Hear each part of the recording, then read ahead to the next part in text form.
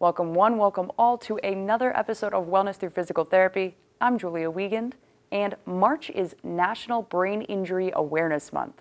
So, when Tingo replaces me front and center, we are going to be talking about concussions, what causes them, how you can get them, and how Fyzical can treat them.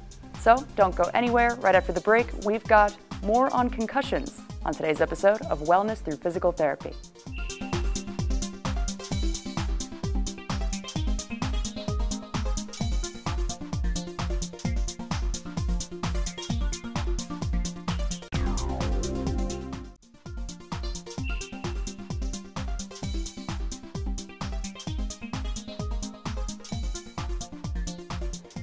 Welcome back to today's episode of Wellness Through Fyzical Therapy. I'm Julia Wiegand, and if you've ever had a concussion, then today's episode is for you.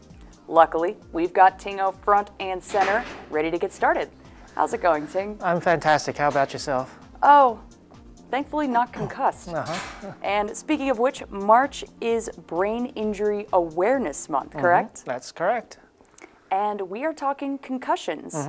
And not only do concussions happen very they're a very common thing that can happen to somebody.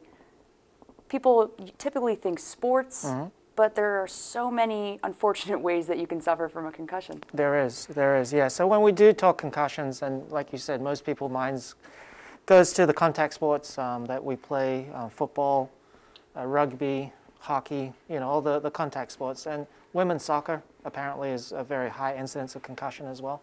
And um, so, and that's an important part of it because uh, obviously we want to try and protect our kids and prevent concussions as much as possible because it can have life-altering consequences. So they found that um, um, in contact sports at the collegiate level, about 10% of all athletes will suffer a concussion at some time in their life. And um, when you go down to high school sports, that number actually gets up to 20%. So it's actually quite common. And they're saying that it might actually be underreported because um, myself, I've probably been concussed playing football before because I've gotten up from a tackle and felt dizzy. But you know, you don't want to come out of the game and you're like, I got to be tough, so I didn't tell anyone about it. So that's actually quite common in, in um, high school and collegiate sports. So the actual number might actually be higher than that. So um, um, concussion in sports is is quite important, but there's also a term that we use which is non-sports uh, related concussions as well. So um, a lot of people in the in normal society don't think about concussions, but it actually happens a lot. We don't really know the, the right incidences of how often it happens because not too many people you know will know what concussions are and they don't go seek treatment for it, which can have lasting effects for them. So it occurs in, in society with things like car accidents, um, things falling on your head. You know, I've had things bump me on the head before never thought twice about it. Um, and uh, it happens sometimes uh, with work-related injuries from slips and falls, and also you know banging your head on. That's why they wear hard hats. And uh, it happens a lot among seniors too, which a lot of people don't know about, because seniors do fall. And when you fall, they say you don't necessarily need to hit your head for there to be a concussion. And uh, some of the latest thoughts is concussions is not actually like a bruising of the brain. It might actually be some uh, some twisting and um, stretching and that of the, the nerves or the axons um, in the brain itself that causes the, the insult instead of having like a, like a brain trauma as such. So um, with concussions, um, it can happen a lot in society and just be aware of the symptoms because if you do happen to suffer an incident like that and you're having some of these symptoms, definitely go get it checked out because concussions are serious and they can come with very serious consequences. And on that note, when we come back, we'll be diving headfirst into concussions. No pun intended, so don't go away. Concussions on Wellness Through Fyzical Therapy.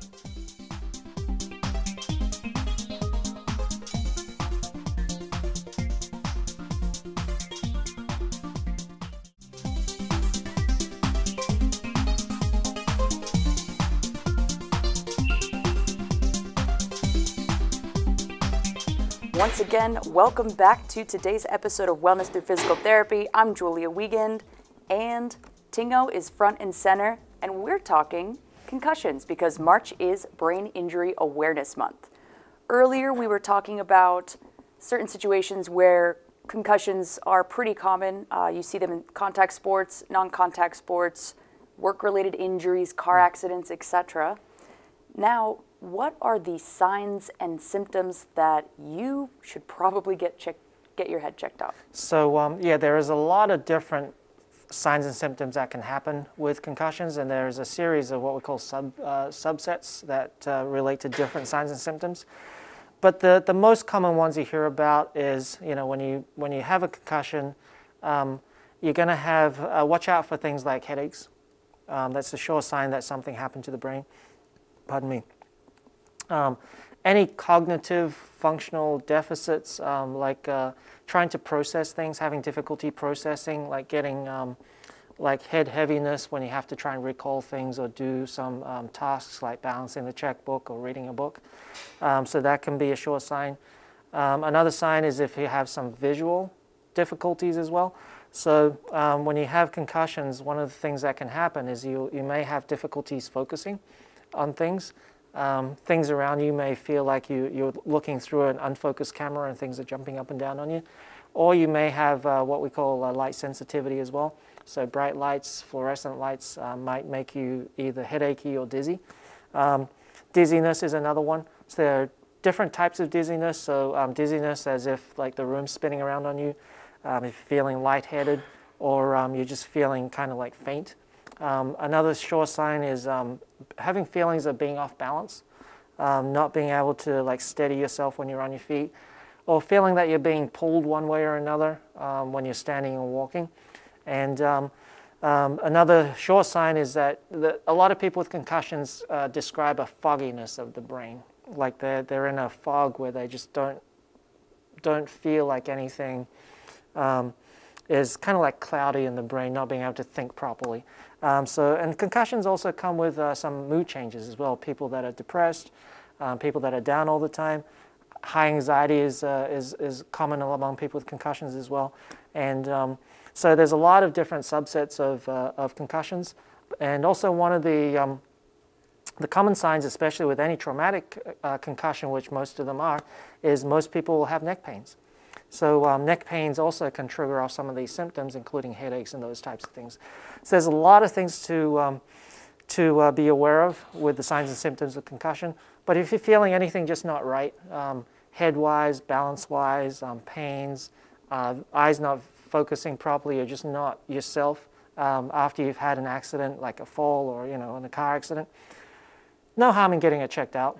It takes maybe an hour or two in your day and it can uh, it can save you a lot of troubles further down the track. Now, speaking of which, so say I was in a car accident, mm-hmm. how soon should someone be seeing symptoms out of me? Because obviously, sometimes you're not going to know mm-hmm. that you are concussed. Right. What are some of the telltale signs that people should start to notice mm-hmm. in within increments of time? Maybe right. immediate, an hour yep. later. Yep. So um, it's a lot of people have symptoms immediately. So one, if you lose consciousness, get it checked out. Um, so I played football all my life, and I was concussed when I was 12, and I got knocked out. So I lost basically about 30 seconds and don't remember. So if you're in an accident of any sort and you feel that, get it checked out. Um, but concussion sometimes can be delayed as well. So just realize that. And a classic example, I don't know if people out there remember Natasha Richardson. She got into a ski accident, banged her head, felt fine, but I think a day later she, she actually died because of a head injury. So um, as soon as you feel any symptoms, even if it's a day or two afterwards, get it checked out as soon as you feel some symptoms. And um, I'm recently uh, treating a gentleman who actually was concussed around about two or three years ago. Actually, I want to say three. And um, he actually recovered from that concussion, but approximately three months ago, uh, which was two years later, all his symptoms came back. So, and without him having to bang his head or anything. So concussions can, it can be kind of weird, and the symptoms might be kind of weird, but um, like look out for the symptoms immediately, but also don't be afraid to keep an eye on them like a day or two down the road as well.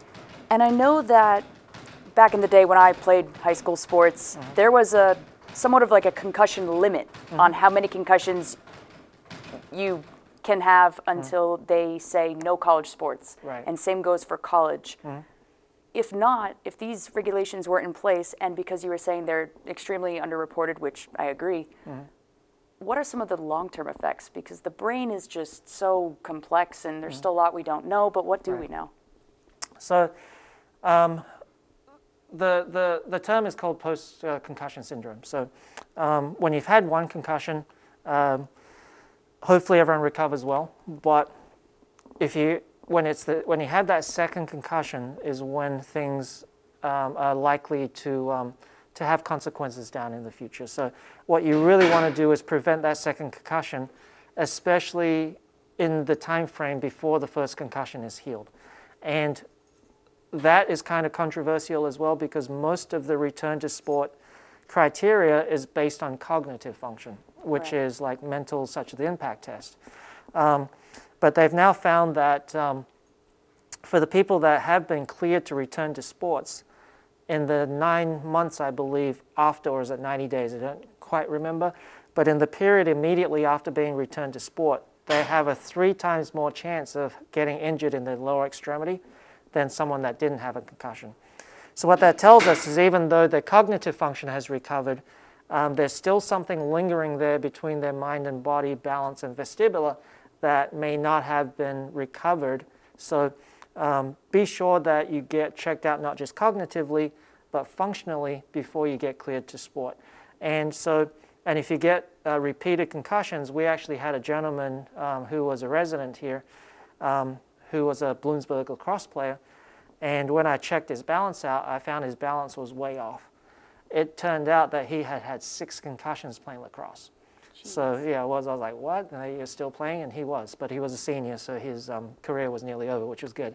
Um, but um, when you have uh, repeated concussions, um, we hear about. Um, ha- have you watched that movie Concussion with the football players? So, Yeah. um, uh, chronic traumatic encephalopathy is what we know about as CTE these days. So, um, having lifelong consequences of dementia as you get older, um, mood changes, mood swings, um, suicidal tendencies is something that can manifest with repeated concussions. So, um, our role, especially in trying to protect our, um, our children in terms of having uh, their future being impacted by these problems, is to make sure we protect them, one, from getting a concussion, and when they do get a concussion, make sure they recover properly and only return them back to sports when they're fully recovered. Now, aside from the uh, the impact test, I had to take one of those as well back in the day on the computer. There are are there other ways to test for concussions? Yeah, so um, the, the, the difficulty with a lot of these concussion testing is you really want a baseline where you test someone prior to the concussion. Right. So uh, we do a vestibular test, which is um, called the Cobalt test, um, which checks someone's uh, visual function, their vestibular function, and their balance tendencies, how their brain and, and body connects. And um, we can determine um, what they are compared to someone that's normal with their age and, and, uh, and um, height, but it would be best if we compared them to what they were like pre concussion. So this way we know um, post concussion, if they're not quite at their pre concussion level, they're not fully recovered. So um, um, we always offer that to, um, to high school contact sport athletes here. If you want to get a pre concussion test prior to the, the season, feel free to come in. We can set you up for that. This way, God forbid you get a concussion, we can have that baseline and show you exactly when you're ready to return to sports.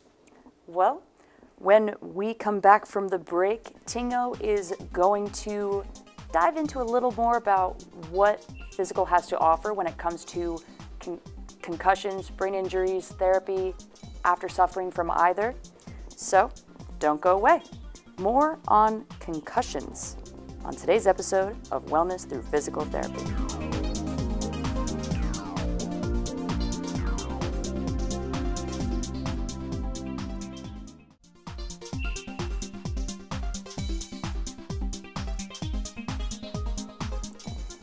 Welcome to the final segment of today's episode of Wellness Through Fyzical Therapy. I'm Julia Wiegand. That's Tingo, and March is Brain Injury Awareness Month. Mm-hmm. Now, earlier, we have been talking about how you can get concussions, mm-hmm. sports, accidents, pretty much anything, it almost sounds like, mm-hmm. and the signs and symptoms to look out for, the short term effects, and honestly, the almost unknown long term effects as well. But what we do know, and what we do know is that treating the conditions, it's almost like half of it is just waiting patiently until you are able to do what you used to be able to do.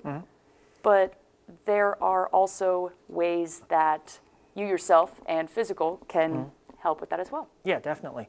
Um, so some of the actually, it's it's we, uh, we've known this for a while. Um, recovery is best after a concussion if you don't rest for too long. So um, the recommendations out there right now is actually um, only rest for between 24 to 48 hours, and you have to get started with movement and general activity as quickly as possible because they found that moderate activity um, actually helps people with concussive symptoms uh, improve quicker in most cases.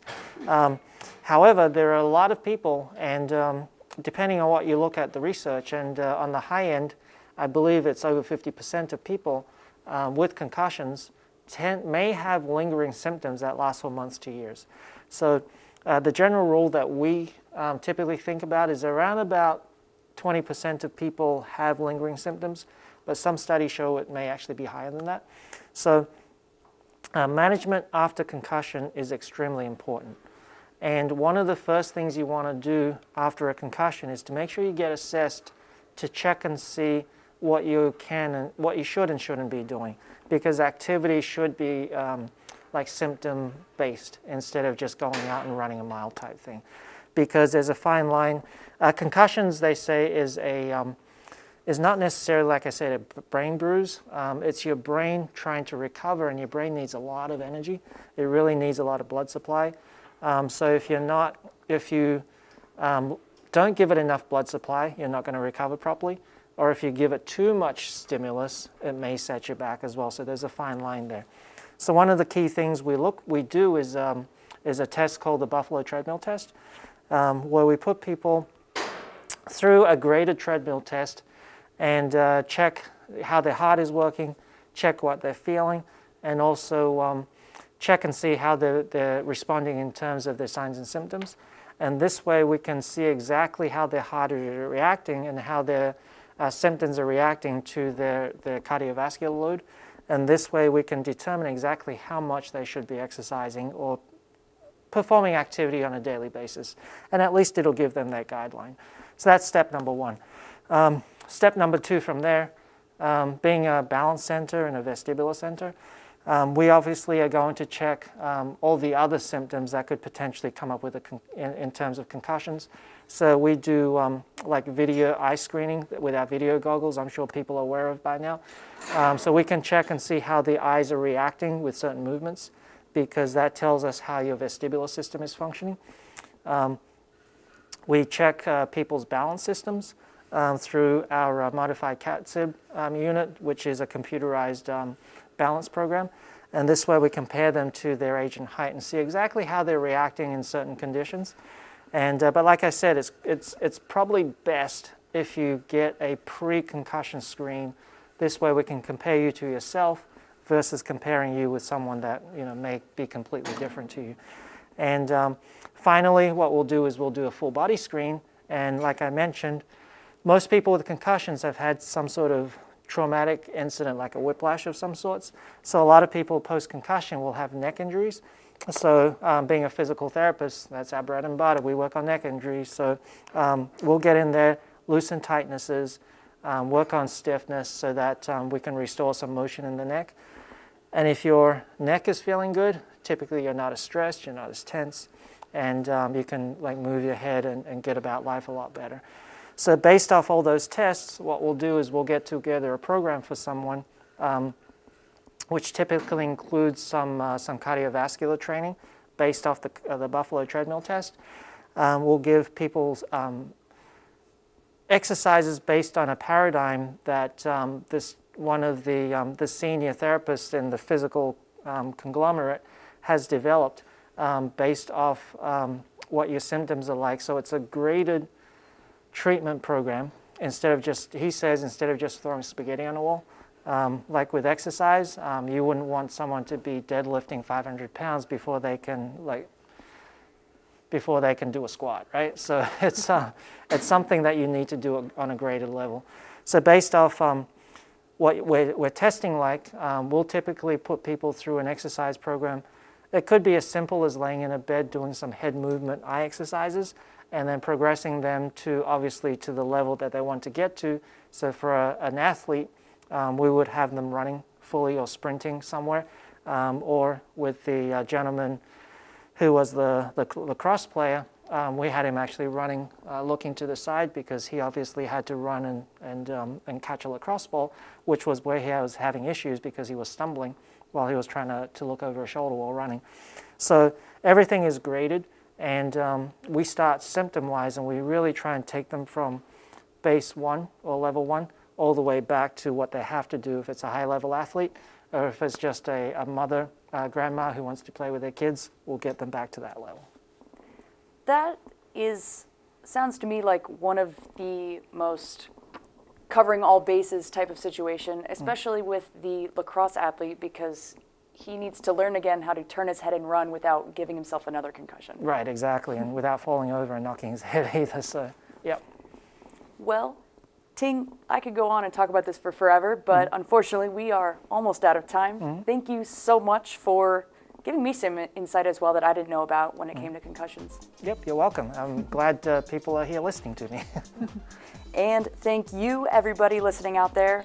Remember, give Fyzical a call if you would be interested in participating when it comes to getting a pre concussion test before you may get that concussion there would be a better read on how to figure it out, how to work through it together, and also how to treat the symptoms that could be following right after. That's it for today's episode of Wellness Through Fyzical Therapy. We'll see you next time.